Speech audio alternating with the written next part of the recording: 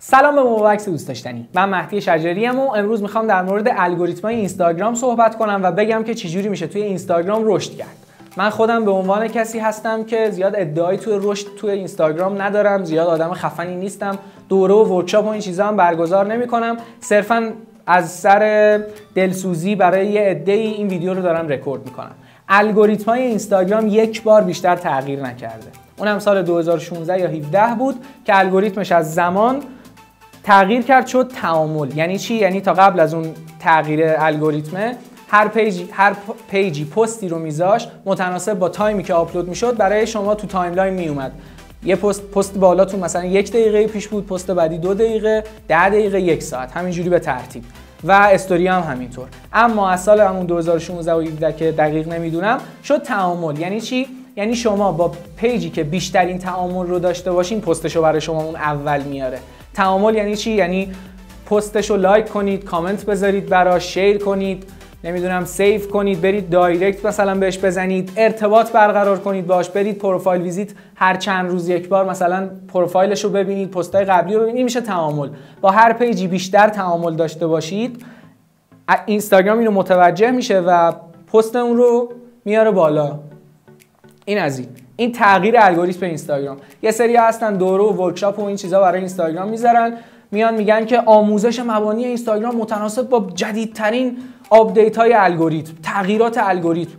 اینستاگرام الگوریتماش تغییر کرد. شما اگر متوجه نشید عقب میفتید این همش چرت و پرته. چون کلا یه بار بیشتر تغییر نکرد. اینستاگرام بیکار نیست. هر روز بیاد الگوریتمش رو تغییر بده که. آپدیت بده. یه سری بخشای ریز هی میاد آپدیت می‌کنه یه سری ویژگی میده. ولی الگوریتم که دیگه تغییر نمی‌کنه. هر مثلا یه ماه یه بار این از این. حالا ما چجوری می‌تونیم تو اینستاگرام موفق باشیم؟ متناسب با اون الگوریتم تعامل. باید یه کاری بکنیم که مخاطب ما با ما بیشتر تعامل داشته باشه. یعنی همون لایک و کامنت و share و direct و save و استوری می‌ذاریم استوریامون ببینه تپ تپ تپ رد نکنه بره. این مستلزم تولید محتوای درسته. یعنی مخاطب بیاد یه محتوایی رو ببینه که دلش می‌خواد جذاب باشه براش که بشینه مثلا ببینه تا آخر و لایکش کنه کامنت کنه اد تو استوری کنه.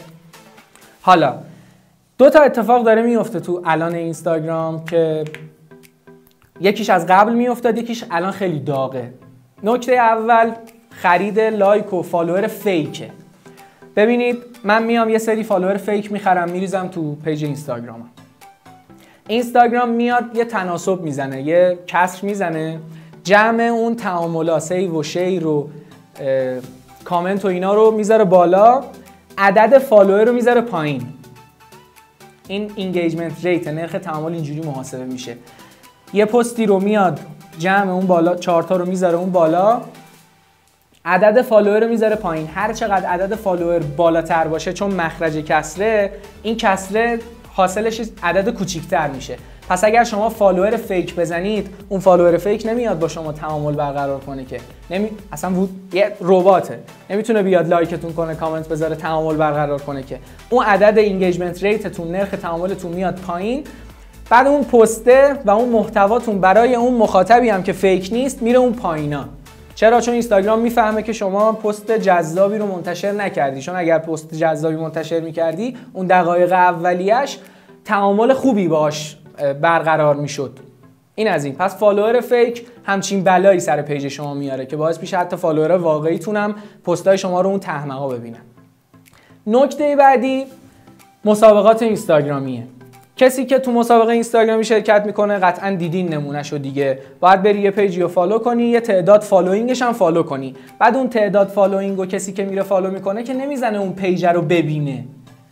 همونجوری تپ تپ تپ تپ تپ تپ می‌زنه رو فالوش میاد. یعنی اصلا پیج شما رو نمی‌بینه نمی‌دونه محتواتون چیه نمی‌دونه اصلا داستانتون چیه از کجا اومدین چی کار می‌کنین. پس دوباره پست شما رو اگر ببینه تعاملی باهاتون نداره. یعنی در حقیقت یه چیزی تو مایه های همون فالوور fake ه حتی هزینه هاش از اون فالوور fake هم بیشتره.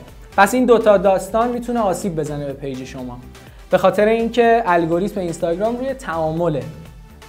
حالا چجوری میشه تو اینستاگرام پیشرفت کرد؟ قطعا با تولید محتوای هدفمند و با استراتژی مشخص. من می‌خوام یه محصولی رو بفروشم. یه مثال می‌زنم. یه محصول دارم مثلا از این گنای کمردرد. یا مثلا زانو بندایی که واسه زانو درده من الان چجوری واسه این تولید محتوا بکنم؟ من میام یه پستی آماده می‌کنم چجوری یه مثلا کیسه برنج سنگین رو برداریم که کمرمون درد نگیره. برای من این محتوا جذابه. برای خیلی هم می‌تونه جذاب باشه. وقتی من ببینمش جذاب باشه لایکش می‌کنم. دمت گرم. من دیگه کیسه برنجه رو دلا نمیشم وردارم. از زانو مثلا میشینم ورش میدارم و از زانون کمک می‌کنم. کمردرد نمی‌گیرم. اینو برای خالم میفرستم برای عموم میفرستم برای اقوامم دوستان میفرستم. تعامل می‌کنم با این.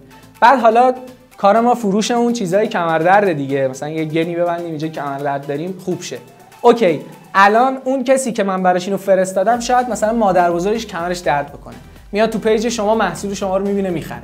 این میشه تولید محتوا. شاید خیلی ها رو بگی تولید محتوا من چی جوری بکنم؟ محصول من اصلا نمیشه براش محتوا تولید کرد. این 100 درصد اشتباهه. فقط کافیه شما یه ذره بشینید در موردش فکر بکنید چیکار بکنید که برای مخاطب جذاب باشه که مرتبط با پیجتون باشه همونو تولید محتوا کنید. هر محصولی که دارید می‌تونید براش تولید محتوا بکنید. تولید محتوای مرتبط. و اصلا نگاهتون به عدد فالوور نباشه. چون خیلی اگر مثلا می‌خواید این محصول رو بفروشین دلیلی نداره من بیام شما رو فالو کنم. میام این محصولتون رو می‌بینم ازتون می‌خرم میرم. اصلا نیازی نیست که من پیج شما رو فالو داشته باشم. پس تولید محتوای درست و مرتبط و استراتژیک می‌تونه به افزایش راندمان پیج شما کمک بکنه. چه پیج آموزشی داشته باشین چه پیج خرید و فروش داشته باشین یا هر چیز دیگه اینم از این. گفتم من دوره اینستاگرام برگزار نمی کنم زینف هم از این داستان ها نیستم صرفا از روی دلسوزی و اطلاعاتی رو که داشتم و در اختیارتون گذاشتم. اگر جایش اشتباه بود حتما بهم تذکر بدین که درستش بکنم.